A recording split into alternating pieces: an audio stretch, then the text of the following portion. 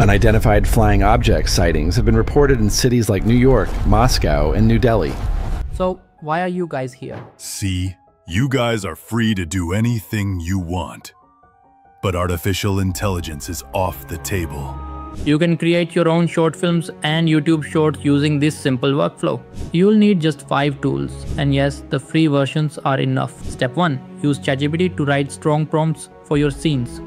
Step 2 Turn those prompts into video scenes using Veo3. Watch my other tutorial to learn how to access Veo3 for free. Step 3 Use ChatGPT to write image prompts. Then generate your character visuals using OpenArt Flux Kontext Max. Step 4 Generate voiceovers using ElevenLabs. Version 3 even adds emotions for more realistic delivery.